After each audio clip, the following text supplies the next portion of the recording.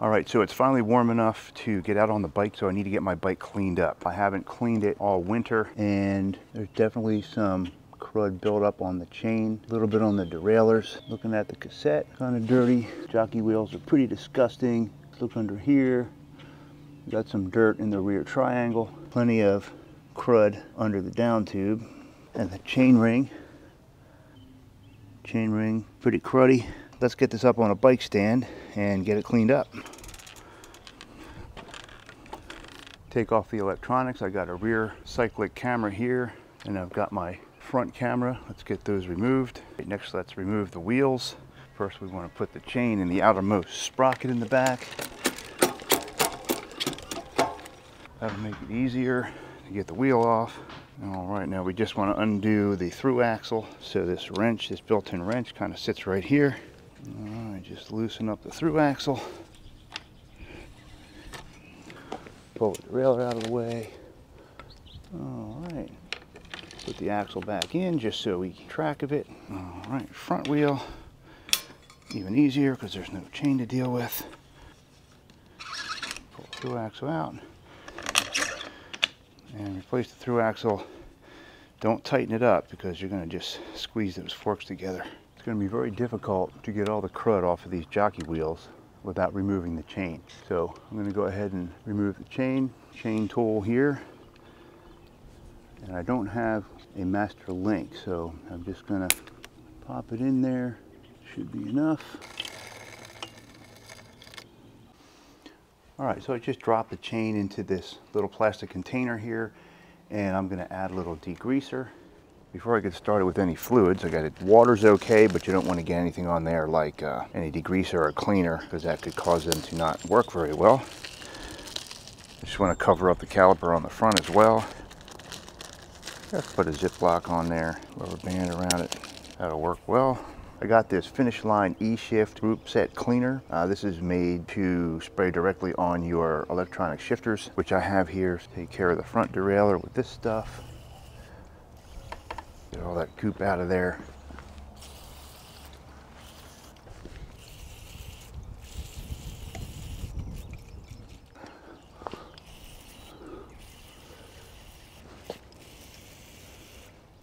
A lot of buildup on these mechanism down here. Gonna get all that off of there.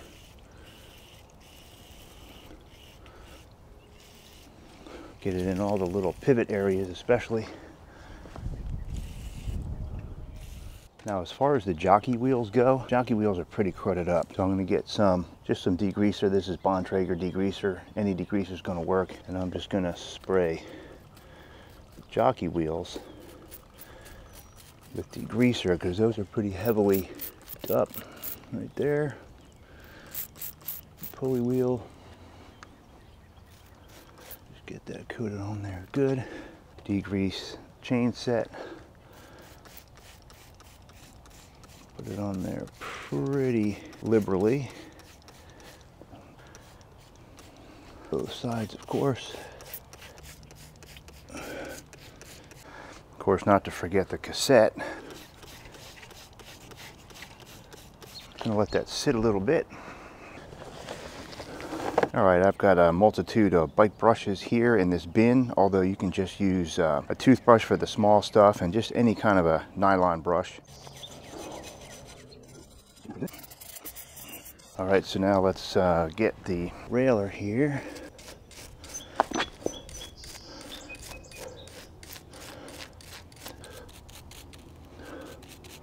This is the dirtiest pulley because it's lowest to the ground, I guess, because as I notice, this upper pulley isn't anywhere near as dirty. All right, even though most of that came up, that was pretty thick. I'm gonna hit that with a little extra helping of degreaser just on the pulleys. Let that sit for a few minutes. One thing it says on here not to squirt this into any bearings, so you don't want to go into the bottom bracket with this. All right, so the degreaser's been sitting on there for a little while. Warm water and dishwashing detergent. Nice and soapy, got a nice clean sponge here.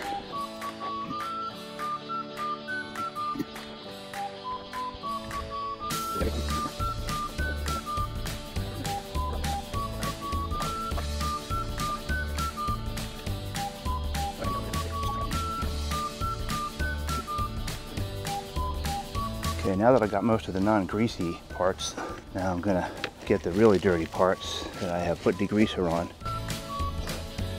Jockey wheels.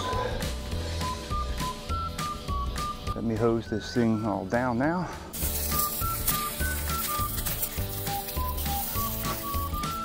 All right, now I'm just going to dry it off. Man, do know what that. You want to get your calipers clean.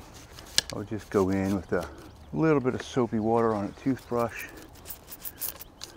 Just don't hit the brake pads.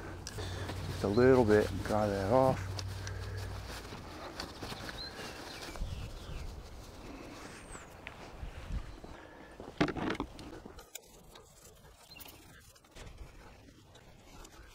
All right, I'm going to take a closer look at the derailleur as well. Those wheels are pretty clean.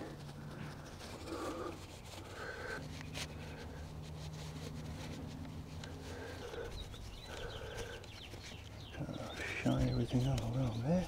Came up real nice. You're not going to be able to get every spot and of course as soon as you take it out on the road it's going to get all dirty again.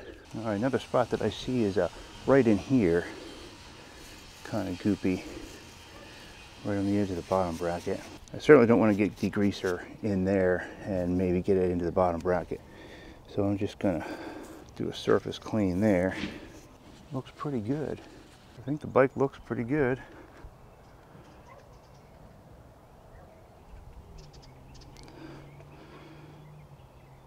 I think everything came up real nice. Nice and clean. Calipers nice and clean. All right, now to the cassette. I did have this degreasing for a little bit. I'm gonna just spray a little more degreaser on there to help us out with the brushing. Now I'm just gonna use a brush and just brush this thing off. So when I push, it moves it, and when I pull back, it cleans it. I wouldn't get any degreaser on the disc brake calipers. Um, water's okay because that'll come right off and it's not gonna cause any issue. Not really gonna brush it with that sponge because it's just gonna rip up the sponge. Just gonna get soapy water in there. Clean the rest of the wheel with the soapy water.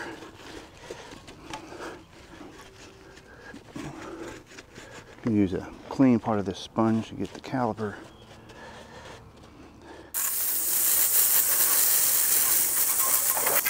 Careful not to squirt any water right into the bearing area. Just gonna dry this off with the towel real good.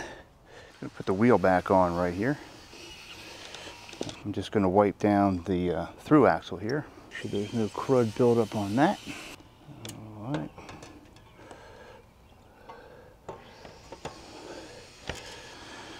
Line that up. Screw that in there.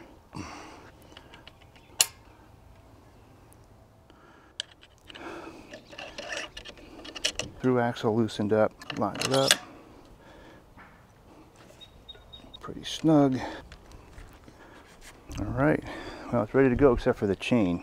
Okay, so I got the old chain out of the degreaser and I forgot that I need, you need a special pin or you need a quick link with the Shimano or a special um, new replacement pin. You don't want to put the old pin back in, which I did try to do and I kind of mangled the chain a little bit. So I went out and got a new chain. I got the Shimano 11 speed CNHG 701-11 and it came with a quick link, which makes it easy to put the chain back together. I also picked up a, um, this is the CT5 chain tool. This one's about $24. Next, I'm gonna lube this chain real quick. Make sure I get a drop on each link. Uh, me just make sure I get this around at least one time. All right, now that's around. So now I'm just gonna lubricate the derailleurs a little bit. Just every little pivot point here. We're just gonna put a little drop of oil and then we're going to wipe it right off because we don't want it dripping down nice clean. This is just kind of like an all-in-one tri-oil that I have here. Just every place where there's a little pivot.